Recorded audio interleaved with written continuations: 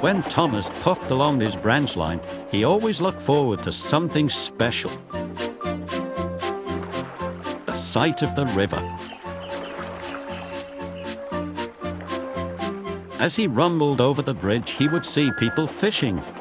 Thomas often wanted to stay and watch, but his driver said no.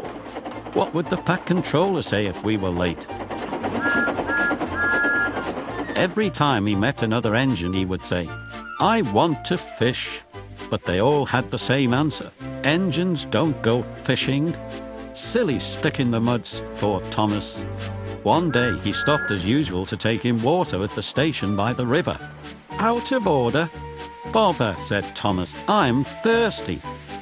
Never mind, said his driver. We'll get some water from the river.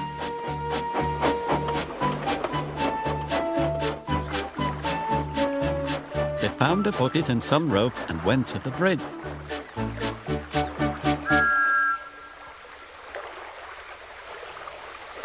Then the driver let the bucket down to the water. The bucket was old and had five holes.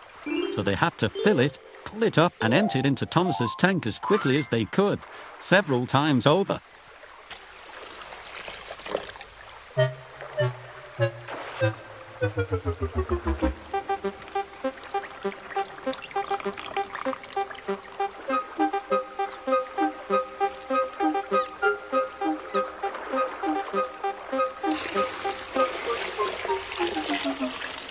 They finished at last.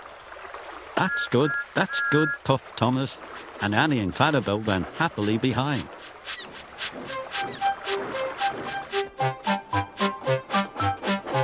Suddenly, Thomas began to feel a pain in his boiler. Steam began to hiss from his safety valve in an alarming way. There's too much steam, said his driver. Oh dear, groaned Thomas. I'm going to burst. I'm going to burst. They damped down his fire and struggled on. I've got such a pain. I've got such a pain, Thomas hissed.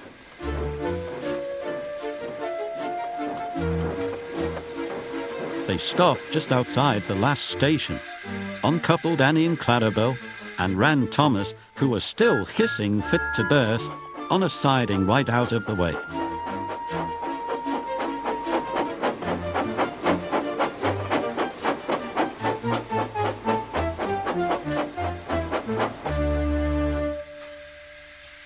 And while the guard telephoned for an engine inspector, the driver found notices in large letters, which he hung on Thomas in front and behind. Danger! Keep away! Soon the inspector and the fat controller arrived. Cheer up, Thomas, they said. We'll soon put you right. The driver told them what had happened. Though the feed pipe is blocked, said the inspector. I'll just look in the tanks. He climbed up and peered in. Then he came down. Excuse me, sir. Please look in the tank and tell me what you see.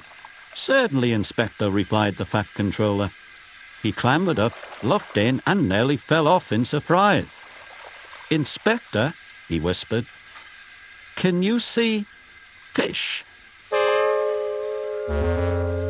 Gracious goodness me, how did the fish get there, driver? We must have fished them from the river with our bucket, replied Thomas's driver.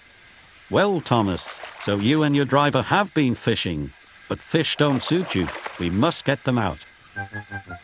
They all took turns at fishing in Thomas's tank, while the fat controller looked on and told them how to do it. When they had caught all the fish, they had a lovely picnic supper of fish and chips. Mm, mm. That was good, said the fat controller. But fish don't suit you, Thomas, so you mustn't do it again. No, sir, I won't, said Thomas sadly. Engines don't go fishing. It's too uncomfortable.